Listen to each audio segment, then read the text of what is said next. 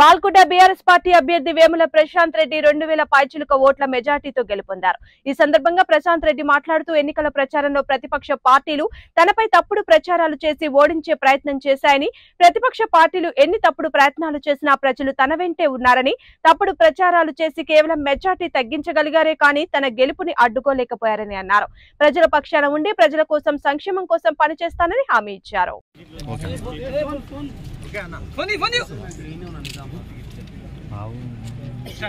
మూడవసారి కూడా బాల్కొండ నియోజకవర్గ ప్రజలు నన్ను ఆశీర్వదించి దీవించి మరొకసారి శాసనసభకు పంపినందుకు నన్ను గెలిపించినందుకు నా బాల్కొండ నియోజకవర్గ ప్రజలందరికీ ఓటరు మాయాశాలందరికీ నా హృదయపూర్వక పాదాభివందనాలు తెలియజేస్తా ఉన్నా. నా మీద నమ్మకం ఉంచి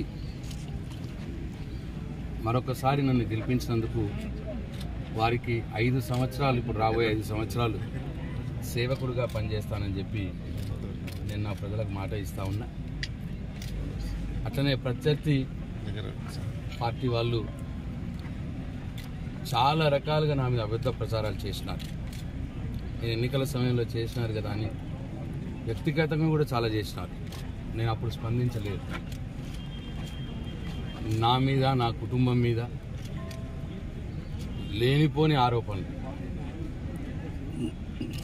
చేసి నా మెజార్టీ తగ్గించగలిగారు కానీ నన్ను ఓడగొట్టలేకపోయారు వారు. వారు ఎన్ని ప్రచారాలు చేసినా చివరి నిమిషం మట్టుకు కూడా ఫేక్ వీడియోలు పెట్టినారు. అతనే గంజాయి బిజినెస్ చేస్తాడు అని చెప్పి నన్ను ప్రచారం చేసినారు. సరే నేను ఎందుకు దాని మీద రెస్పాండ్ కావాలి? వాళ్ళు నాగరికత లేని మనుషులు అని చెప్పి నేను వదిలేసిన. నా మీద నా కుటుంబం మీద.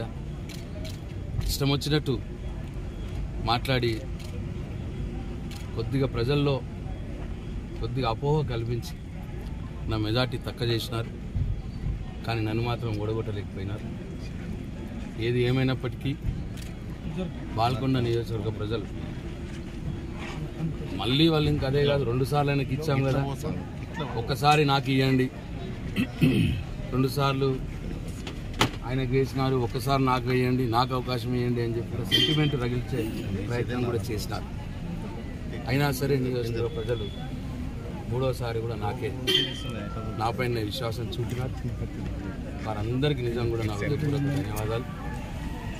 నేను మరొకసారి కేసీఆర్ గారి నాయకత్వంలోని ప్రభుత్వం ఏవైతే సంక్షేమ కార్యక్రమాలు అభివృద్ధి కార్యక్రమాలు ఈ రాష్ట్రంలో నా నియోజకవర్గంలో చేసినారో అవన్నిటిని కూడా అట్లాగే కొనసాగిస్తా.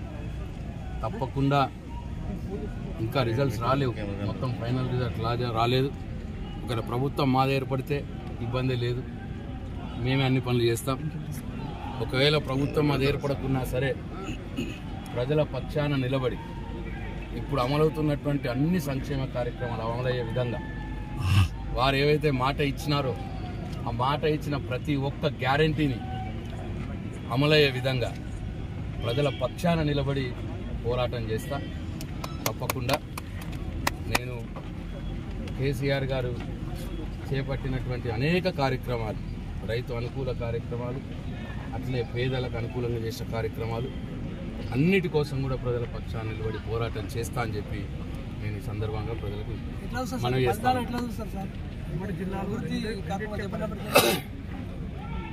కాంగ్రెస్ పార్టీ వారు బీజేపీ పార్టీ వారు చాలా రకాలుగా అబద్ధం ప్రచారాలు చేసినారు. ప్రజల్ని కన్ఫ్యూజ్ చేసే ప్రయత్నం చేసినారు.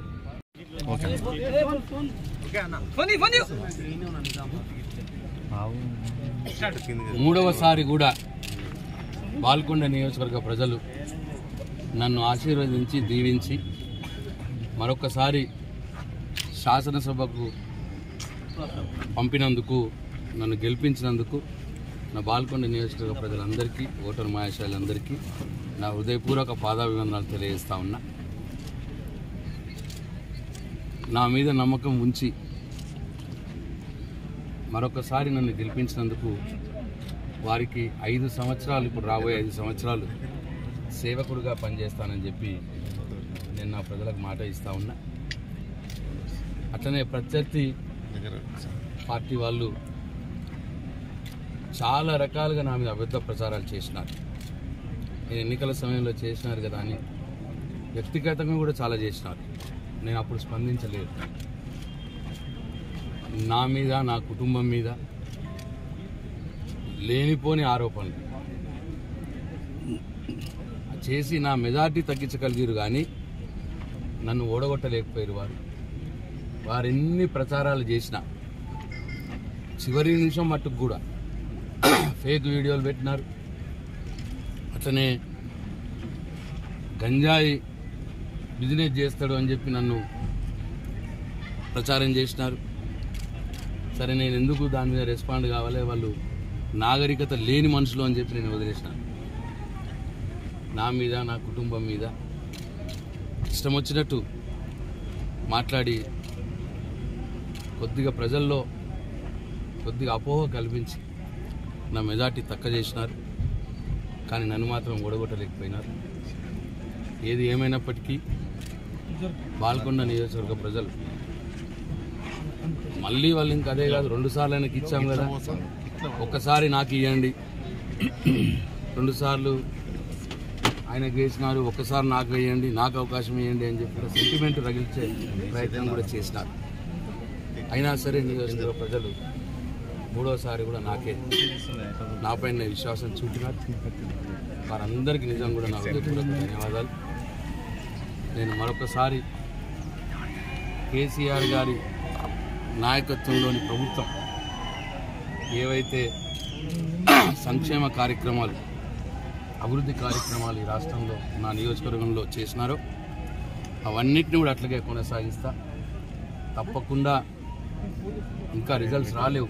మొత్తం ఫైనల్ రిజల్ట్ రాజా రాలేదు. ఇక్కడ ప్రభుత్వం మాది ఏర్పడితే ఇబ్బంది లేదు. మేమే అన్ని పనులు చేస్తాం. ఒకవేళ ప్రభుత్వం అది ఏర్పడకున్నా సరే ప్రజల పక్షాన నిలబడి ఇప్పుడు అమలవుతున్నటువంటి అన్ని సంక్షేమ కార్యక్రమాలు అమలయ్యే విధంగా వారు ఏవైతే మాట ఇచ్చినారో ఆ మాట ఇచ్చిన ప్రతి ఒక్క గ్యారంటీని అమలయ్యే విధంగా ప్రజల పక్షాన నిలబడి పోరాటం చేస్తా. తప్పకుండా నేను కేసీఆర్ గారు చేపట్టినటువంటి అనేక కార్యక్రమాలు రైతు అనుకూల కార్యక్రమాలు అట్లే పేదలకు అనుకూలంగా చేసిన కార్యక్రమాలు అన్నిటి కోసం కూడా ప్రజల పక్షాన్ని నిలబడి పోరాటం చేస్తా అని చెప్పి నేను ఈ సందర్భంగా ప్రజలకు సార్? చేస్తాను.